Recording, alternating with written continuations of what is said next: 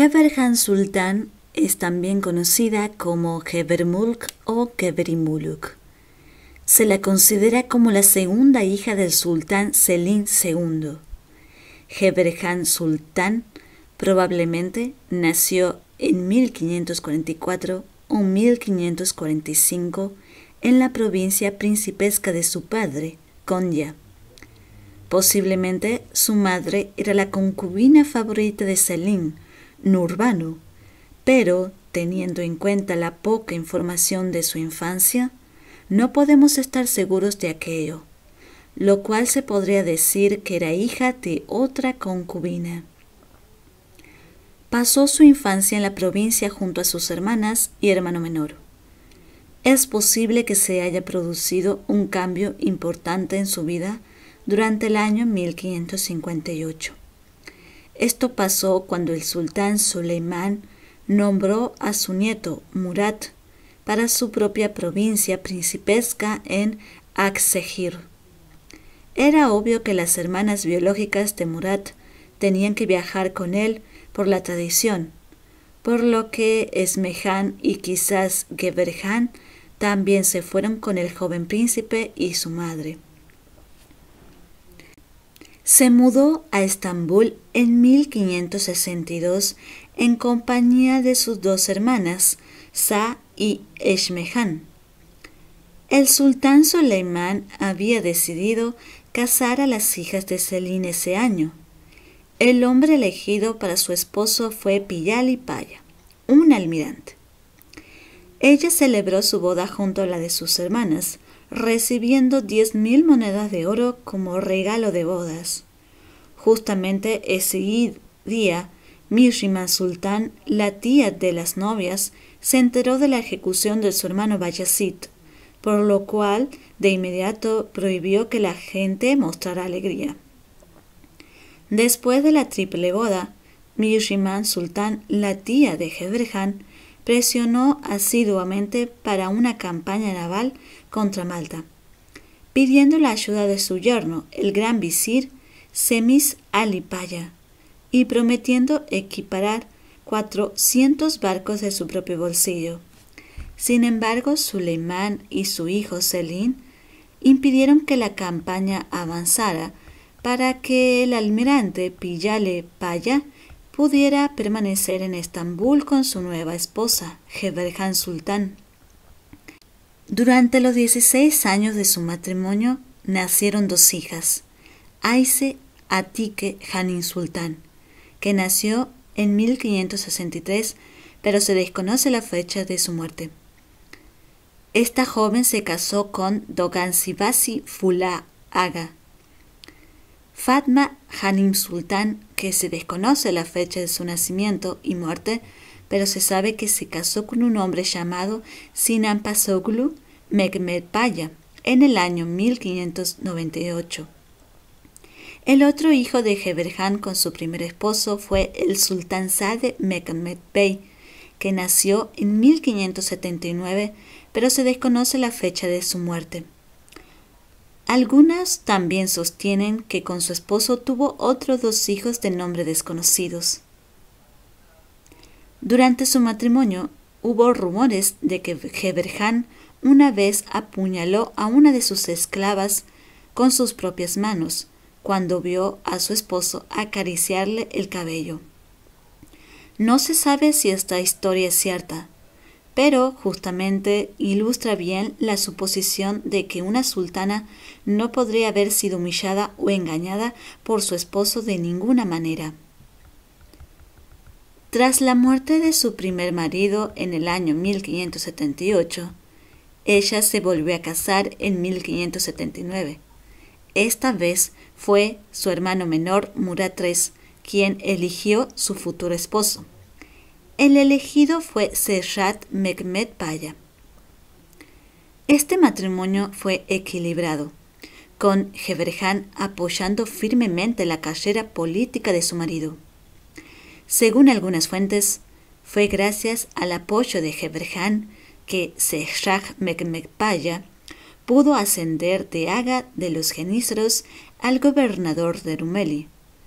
También fue quien circuncidó al sobrino de Geberhan, el futuro Mekmet en el año 1580 o tal vez 1582.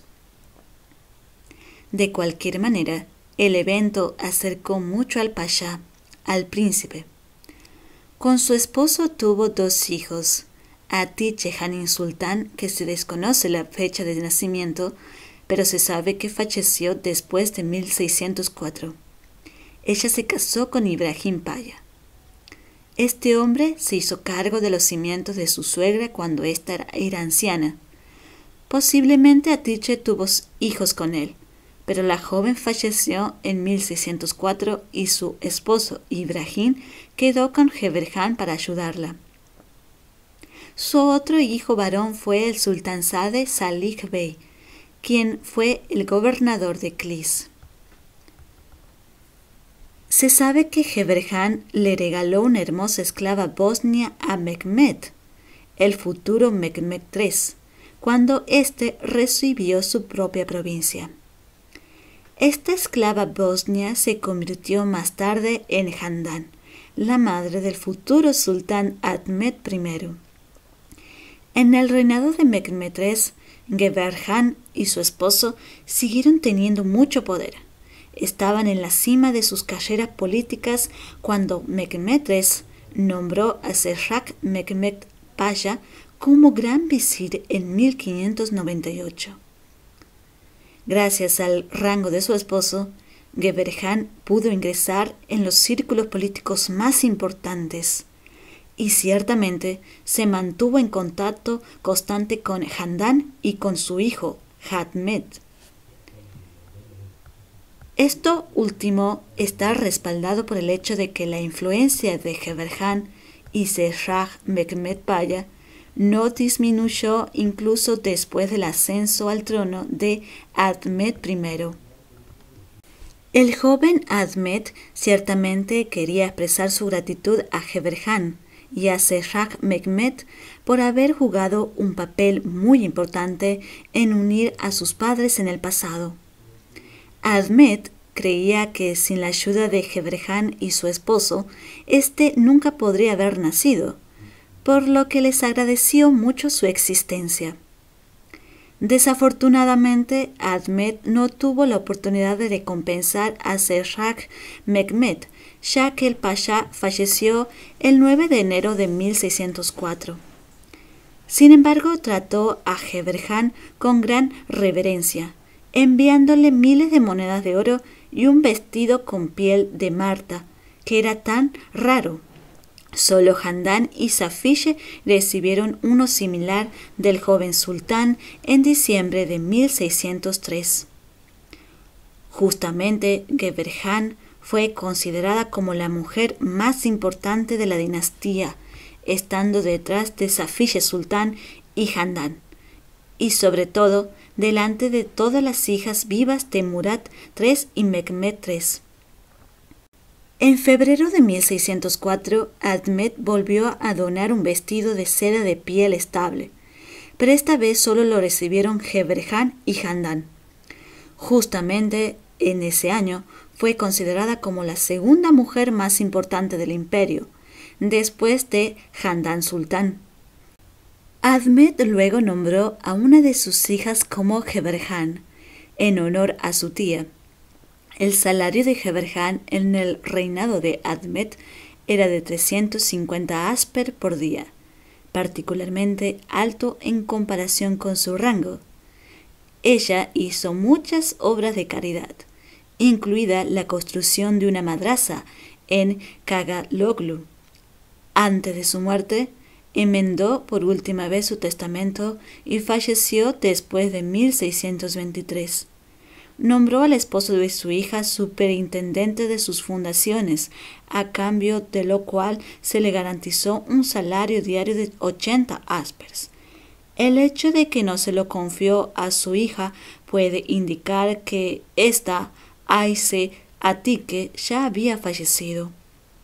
Pero según el testamento de Gebrehan, ella también dejó dinero para sus otros hijos, por lo que quizás, además de Aise Atike, estos hijos también alcanzaron la edad adulta o posiblemente ella tuvo nietos. Y esto es todo, mis oyentes queridos. Llegamos al final de la biografía de Keberhan Sultán. Espero que les haya gustado el video. Si es así, pueden dejar un like, comentar y suscribirse al canal. Si tienen alguna petición de algún mito, fábula, leyenda, historia antigua, pueden dejarlo en la caja de comentarios y yo estaré anotando las peticiones. Nos vemos pronto.